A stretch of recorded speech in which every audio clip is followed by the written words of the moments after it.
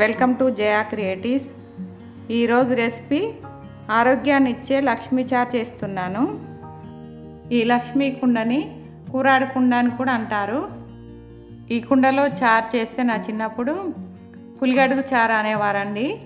రుచి బాగా ఉండేది.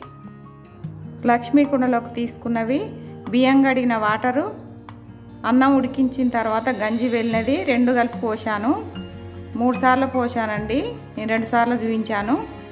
చిన్న కుండ కావటాన మూడు సార్లు పోయటంతో నిండిపోయిందండి. మూత పెట్టుకొని ఆరేడు రోజులు ఉంచుకుంటే పులుపుగా తయారవుతుంది.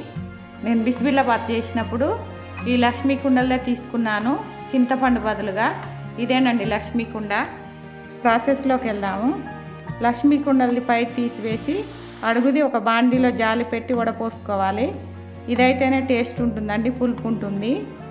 స్టవ్ వెలిగించుకొని స్టవ్ పైన పెట్టుకొని మునక్కాయ ముక్కలు నాలుగైదు వంకాయ మూడు కట్ చేసుకున్నవి ఐదారు సొరకాయ ముక్కలు గుమ్మడికాయ ముక్కలు నాలుగైదు రెండు బెండకాయలు కట్ చేసుకున్నవి.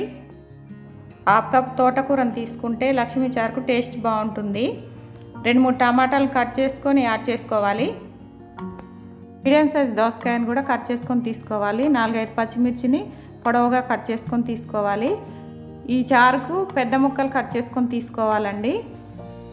ఇతర రోట్లోకి అర టీ స్పూన్ జీలకర్ర కొద్దిగా మెంతులు అర టీ స్పూన్ ధనియాలు మూడు ఎండుమిర్చిని తీసుకొని దంచుకోవాలి. అలాగే ఐదు ఆరు ఎల్లుల్లిపాయ రెబ్బలు తీసుకొని దంచుకొని పక్కన పెట్టుకుందాము. స్టవ్ పైన ఉన్న లక్ష్మీ చారుని మూత తీసి చూద్దాము.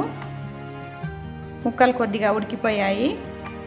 అర టీ స్పూన్ పసుపు తగినంత ఉప్పుని తీసుకొని కలుపుకోవాలి. ఈ లక్ష్మీ చారు చిక్కగా టేస్ట్ ఉండాలంటే ఒక చిన్న బౌల్లోకి ఒక టేబుల్ స్పూన్ శనగపిండిని తీసుకొని ఉండలు లేకుండా కలుపుకోవాలి. ఈ లక్ష్మీ చారు మూత పెట్టుకొని ఉడికించుకుంటేనే కూరగాయ ముక్కలు ఉడికిపోతాయండి. రెండు రెబ్బల కరివేపాకుని తీసుకోవాలి.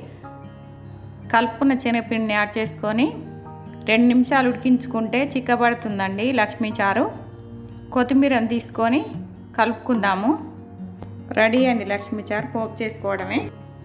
స్టవ్ వెలిగించుకొని స్టవ్ పైన పాన్ పెట్టుకొని ఒక టేబుల్ స్పూన్ ఆయిల్ తీసుకోవాలి. ఆయిల్ వేడెక్కాక అర టీ స్పూన్ జీలకర్ర అర టీ స్పూన్ ఆవాలను యాడ్ చేసుకోవాలి. అవి వేగాక రెండు ఎండుమిర్చిని తుంపి తీసుకోవాలి. మూడు నాలుగు ఎల్లుల రెబ్బల్ని పొట్టు తీసి చిన్న ముక్కలుగా కట్ చేసుకొని తీసుకోవాలి.